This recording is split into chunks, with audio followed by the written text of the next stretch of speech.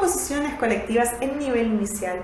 ¿Cómo vamos a lograr un producto único con la impronta de cada niño y una identidad colectiva o grupal luego de haber pasado por experiencias y adquisiciones previas? Como sabemos, los chicos, cuando juegan, despliegan todo su potencial creativo y mientras tanto van cantándose a sí mismos o van cantando describiendo esa escena que va sucediendo y esto surge de manera espontánea.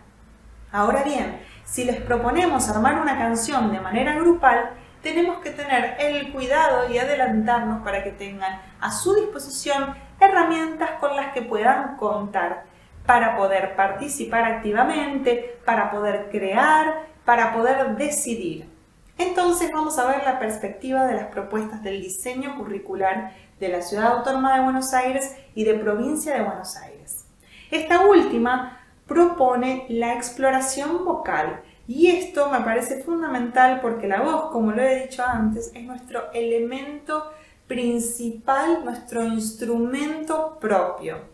¿Cómo podemos hacer para explorar la voz? Bueno, podemos hacer sonidos guturales, nasales, trabajar con la intensidad, gritando, susurrando. También podemos trabajar con la altura, cómo suena nuestra voz cuando cantamos agudo o cuando hablamos agudo, cómo suena nuestra voz cuando hacemos lo mismo con sonidos graves. Y también proponerles la escucha de diferentes voces con diferentes coloraturas o diferentes maneras de, cantar para que ellos puedan investigar y puedan probarlo, copiarlo y explorar la voz. La ciudad de Buenos Aires no habla de este elemento, pero sí de la invención de sonidos. Esto puede ser con instrumentos, con elementos que tengan a disposición o con la voz y esto lo agregamos nosotros. Ambos diseños también trabajan en la importancia de la exploración instrumental y los diferentes modos de acción. ¿sí?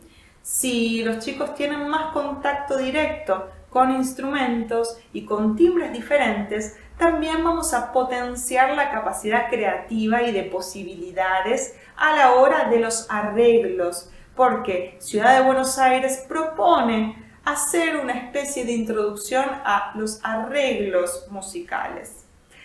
Luego tenemos la organización. ¿Cómo es esto? La organización es hacer dúos, cuartetos, tutis, pero también los roles, hacer de director y ser dirigido.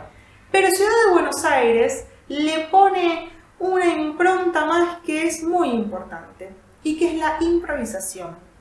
La improvisación es fundamental para fomentar la creatividad. Es ahí donde todo pasa.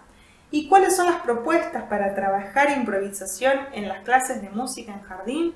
Podemos hacer una ronda, nosotros podemos hacer un sostén armónico e ir pasando instrumentos rítmicos o melódicos y que puedan a la vez hacer organizaciones diferentes. Bueno, ahora tocan todos los de este lado, ahora solamente tocan dos, y así. Entonces ponemos en juego todos estos elementos que se proponen en los diseños curriculares. Y luego voy a agregar algo que en realidad está en otro bloque del diseño de Ciudad de Buenos Aires que me pareció súper interesante para trabajar en la composición. Y es el ritmo del lenguaje. Y esto es trabajar con onomatopeyas, con rimas, con trabalenguas, lo cual va a facilitar luego el uso de las palabras de manera musical, no solamente con el sentido, sino cómo están organizadas temporalmente, lo cual me parece súper enriquecedor. Esto es la perspectiva desde ambos diseños curriculares y en un próximo video estaré trabajando sobre alguna propuesta para poner en práctica esta cuestión de la composición. Ojalá les haya servido y nos vemos la próxima.